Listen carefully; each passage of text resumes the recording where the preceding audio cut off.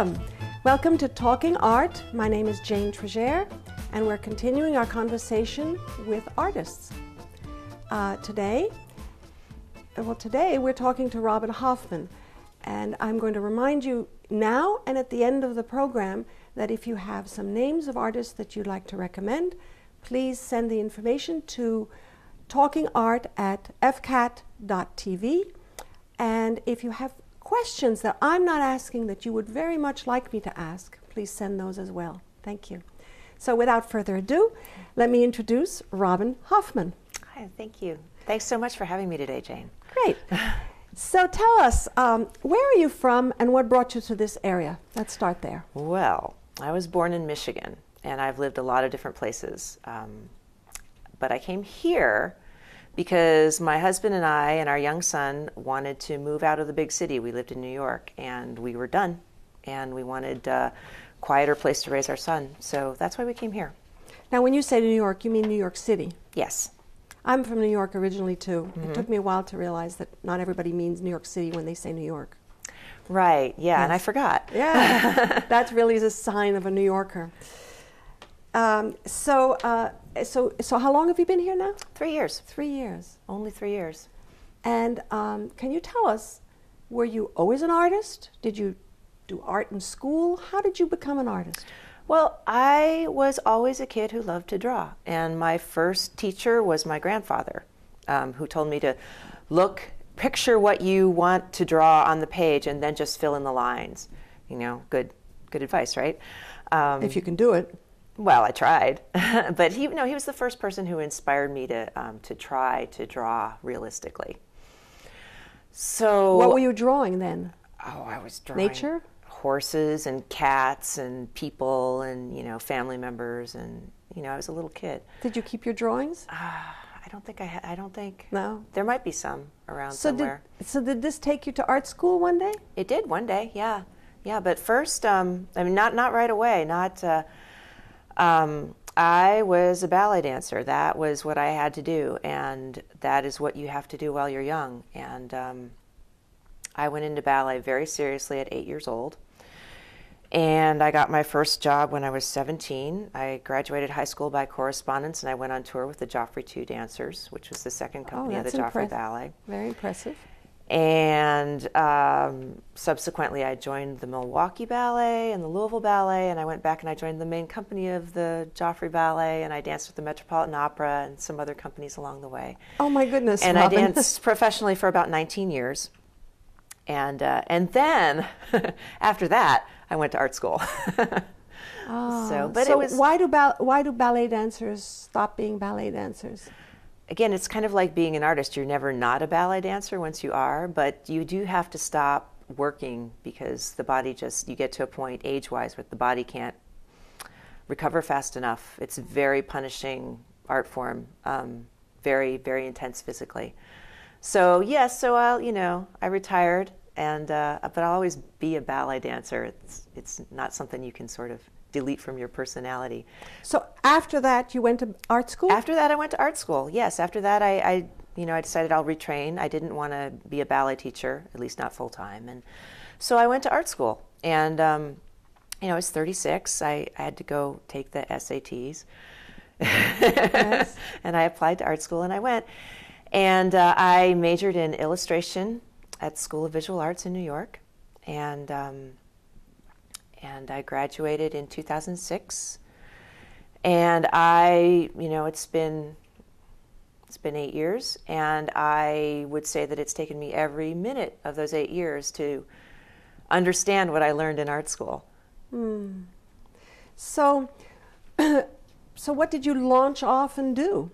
Well, um, it you know, unsurprisingly, it was kind of precipitated by you know, being a performer and being not a performer anymore. I, um, where I lived in Brooklyn, we had uh, um, a wonderful theater down the street called the Jalopy Theater and School of Music, and uh, it was it was new at the time. It had only been open a couple of years. Um, but it was a theater for folk music, and it was a small place, seats about 75 to 100 people with a proscenium stage, no curtain, but a proscenium stage, and it's really close and it's really intimate. And I went to sit in the audience and draw the performers, whoever was going to be on stage. And I was there, you know, with the perspective of I'm not on stage anymore. And I wonder what it's like for them to be on stage playing music, which is different from what I did, very different. I mean, in many ways, like they're not off ever off stage there. When they're not on stage, they're in the audience next to us, and they just go up there and they pull out their instruments and they play and they sing. I would be, you know, backstage putting on makeup and you know warming up and doing push-ups and hyperventilating for two hours before this, but these people just you know seemed to me it seemed to me so much more of a casual transition between not on stage and on stage so i got really f- fascinated Over here we have a, a, a, a book, your sketchbook. This is one of my sketchbooks from that time. Yes. Can you, is this what you do? You go to performances with your sketchbook? Yes, that's that's what I did. I went to performances with my sketchbook and I began drawing what I saw. And at first, May I um, show? May I show? This this is a. This is one page, and randomly here's another page. So you just sit in the dark and draw. Basically, yes. Um, the two colors came from uh, the two colors came from drawing in the dark. Um, first, I would use the sanguine pencil, and then the the dark, soft um, graphite. And it started more with, um, you know, I wasn't very fast at first, so I would, uh, you know, I would do very quick studies, and uh, and then I would, um, you know, for instance, Explain to me why the black and the and the and the red, the sanguine, why those are good colors to be drawing in the dark with. Well, I could just um, I could just sort of make them out. um, I couldn't I couldn't make a white really work, or I couldn't make you know. Later on, I figured out what colors I could make work, but uh, you know, usually it's it's dark, and and as you'll see, uh, there are a lot of extra lines in here. Um, but for instance, this is a study that I did of uh, um, Mamie Minch, a performer named Mamie Minch, wonderful, wonderful singer and player, and um, and then for the first show I did at the Jalopy, um, I did a bunch of those studies. I turned them into pictures. I took a lot of my studies and I sort of combined them into illustrations, like I'd been taught in school. So the one you're pointing to here is, is what is that? Tell us about that. That is that is Mamie performing. Um, it's it's a combination of several studies that I took of her um, to sort of describe her on stage. So this is now what we're looking at now is uh, looks to me like a watercolor. Is that correct? It's colored pencil and watercolor. So this is not. So you take your drawing from your notebook, Mm-hmm. and then you transfer it. You copy your own work. Yes. Yes? Well, I copied another- a lot of thumbnails. You know, Uh-huh. a lot of thumbnails, and and then I would use my drawings as reference Uh-huh. um, for the finish. Uh, and I Ma- usually many- did a couple of them. Sorry. Many artists photograph something and then go home to their studios Right. and and and paint those. Yeah. Well, I didn't want to. I didn't So- want to photograph for a number of reasons. First of all, the sound of the shutter I felt was um, too distracting, and we're right there Intrusive. close. And also, I I wanted to capture what I saw. I didn't want, and then use my memory to fill in. I didn't want. I was I was studying and looking and learning, and I didn't want to take any shortcuts. Mm-hmm. So I see. So this is an exercise for you as well as a choice. it was a big exercise for me. It was really me le- trying to learn who I was going to be now. This looks like the same woman in the middle. Is that correct? No, No. Sorry. it's someone else. Can you tell us about that one? Okay, well, that's a later picture after I began. Um, This is a trio. this is a trio, and um, by and by, as I began, as I kept doing these sketches, I started to be able to draw the whole stage. I started to be, I started to, you know, understand. I started to understand how people arrange themselves to play music. I began to understand more about playing music. I was studying, you know, I was learning to play the ukulele myself at the Jalopy Theater and School of Music. And, um, and I was going, you know, three nights a week and sitting and watching and drawing just over and over and over. And so I began to understand um, and to be patient to find, you know, interesting things that people do when they're playing music and they do them again. You just have to be patient. You have to be patient for the moment to come again. And you have to choose where you're going to put things in the picture frame. And so I began to be able to make a composition on the fly. Well, you know, So this that is was a very, new thing. This, as you're describing this, I'm feeling what you're saying, and I'm realizing that's true. They have their certain positions and and, and physical behavior up on the stage, Mm-hmm. and and it's not the way you might imagine composing a set of three people. This is very real. This is that the, the guitarist is leaning forward, Mm-hmm. and and the and the and the bass player is sort of looking off onto stage, you know, left, in no particular direction. Mm. And the only one who seems to be looking vaguely at the audience is the is the woman in the middle, also a guitarist. Over here, we're looking at a group of I don't know five or six people.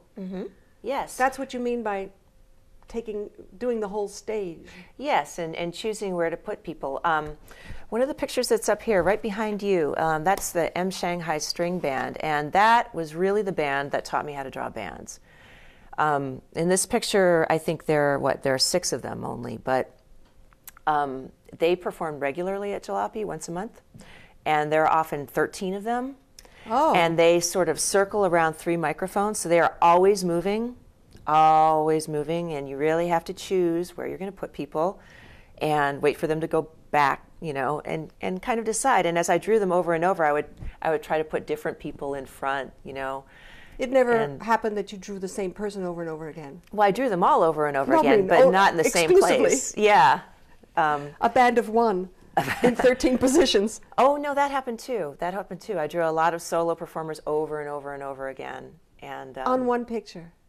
oh no, no, oh just sorry. Over time, over No, no, time. I meant- did this for three years, so Uh-huh. I ended up. I just ended up drawing a lot of these folks many, many times. Well, tell me about this palette because it's consistent. It's Yes. if well, what what are these colors? I see the sanguine again. I see Mm-hmm. sort of an orange. Is that the sanguine? Well, I'm a person, you know, I'm a ukulele player, and um, I like an instrument with two octaves, and I like a palette, a limited palette, uh, you know, Uh-huh. six colors, including black and white, pretty much. And Right. so I had my sanguine and my, uh, my dark violet blue. And um, when I'm in the theater drawing, I will use that sanguine and that dark violet blue, and then I'll add red As your And then- highlight? as um, yeah, I guess you could kind of call it a highlight. Um, I see it. I see it over here. What we have the um, is that a ukulele and a bass? yes, That's yes. an odd combo. Oh, not Maybe- so odd. Not so odd. I'm not a musician, so I shouldn't speak. You will- but I think what's what's I find fascinating about first of all, I see the red line as a highlight there. Yes, And Yeah. I also see that the place is, the picture is sort of dominated by, by the mics yes, and the wires, and I love it. that's part of the landscape of the um, of the the stage. The the microphones, the mic stands, the sometimes music stands, curtains, stuff, and sometimes that stuff is what makes the picture, what pulls it all together. Um, this, you know, also from my illustration training, you can draw the eye around the picture with things like instruments, microphone stands. well, they're all you know. pointing at this man's face. Yeah.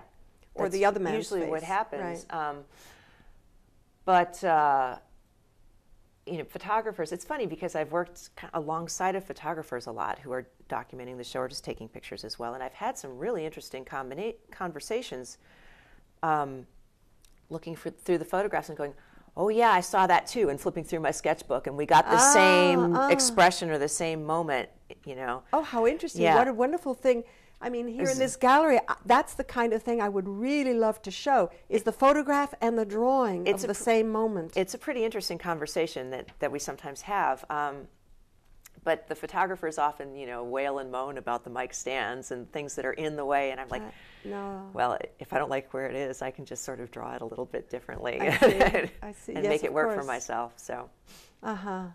Uh-huh. so that's that's the benefit to being the, the sketch artist. So I see among these uh, these pieces here, I see a poster. That's a different style. Would you like to talk about that? Sure. Well, that is um, that's some commercial work that I did recently, and uh, by golly, I got hired to draw a musician after all this that. time, um, which was was really fun. And um, this is a, a musician that I didn't really know much about before I was assi- given this assignment.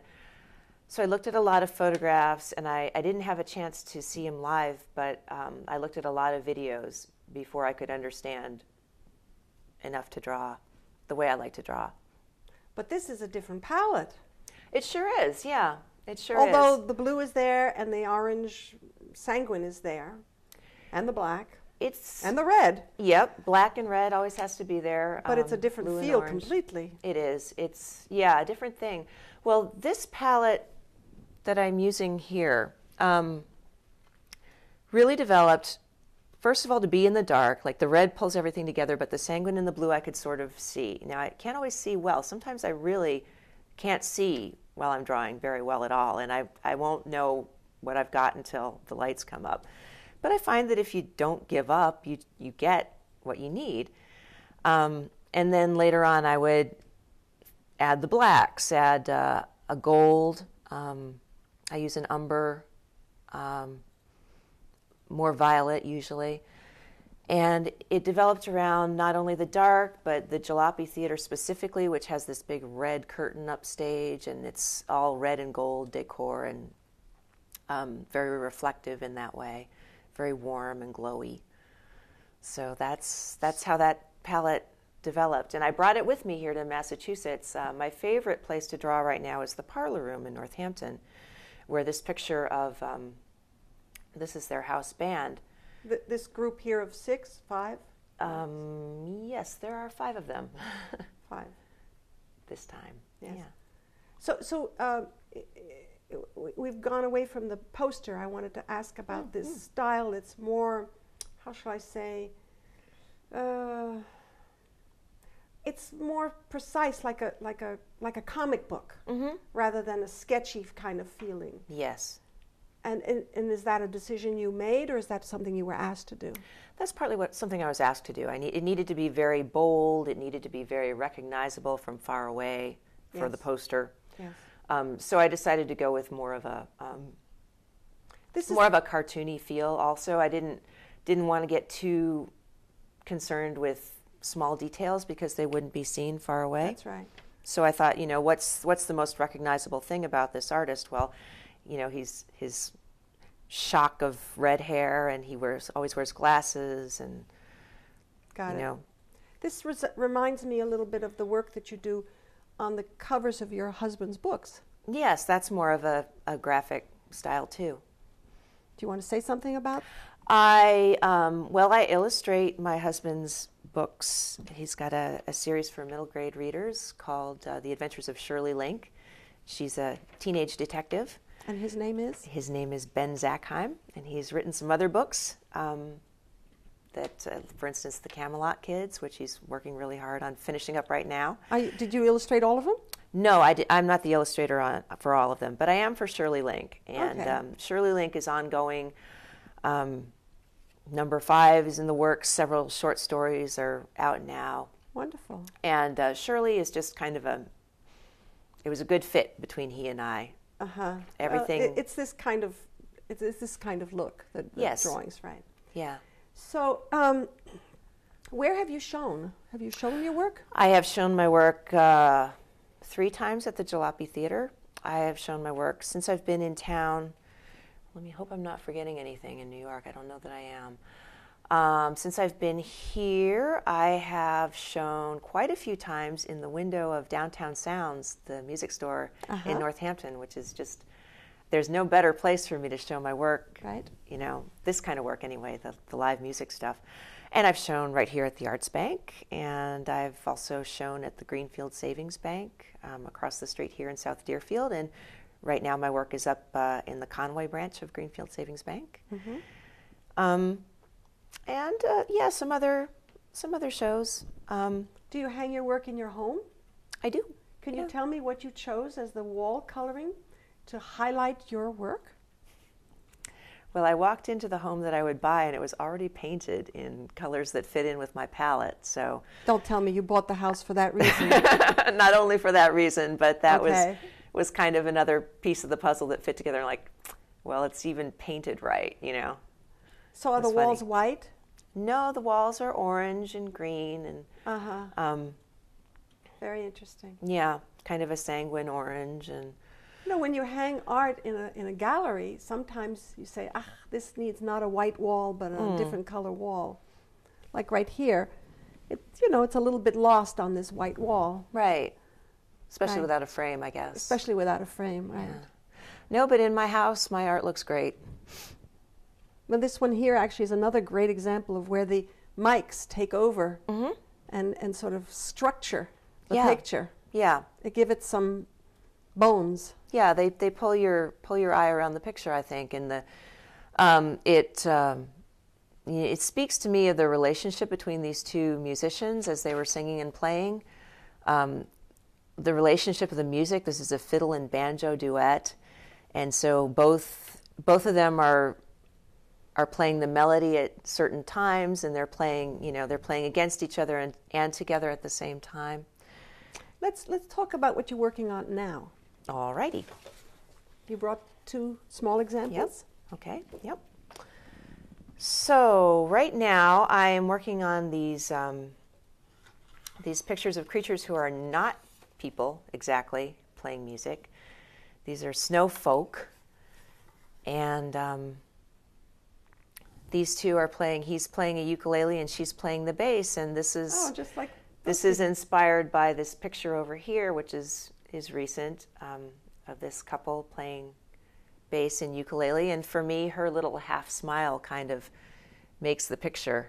Um, the picture turns around her little half smile. So Uh, but there are no mics in this picture. nope, nope. No, but no you mics. know, um, You you took the mics out.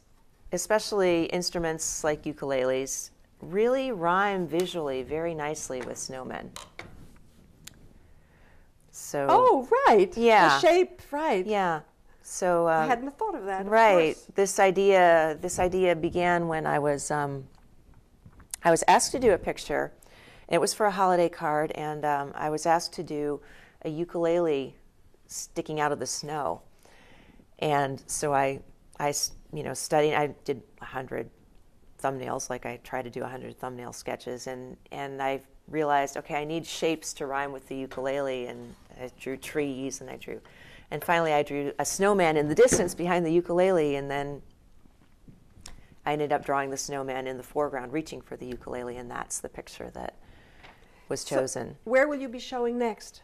uh, right here at the Deerfield Arts Bank. Oh, yes, at the Small Arts for big holidays. Yes, there, and also, like I said, my work is up in the Conway branch of the Yeah. Greenfield Savings Bank. You also well. teach ukulele. right here at the Deerf- Deerfield Arts Bank. Yes, I do. yeah, Okay. I have. Uh, I have a lot of private students, and we'll be starting classes. And I I love teaching ukulele. Um, and I don't. Maybe it's the evolution of how I got into drawing music, playing, and performance. My performance background and the idea of not being on stage, and then I was drawing in public, which is almost like a performance already. And I began to play music more and more and more. And so, playing music is a huge part of my life now. Thank you. Thank you, Robin. Thank you, Jane. So um, I'm hoping to introduce us all to all the artists in the area. Again, we're at the Deerfield Arts Bank in the center of South Deerfield. My name is Jane Trigère, and this show is called Talking Art. I remind you, you can contact me for suggestions or better questions or deeper questions that you have to ask to artists at Talking Art at fcat.tv. Thank you.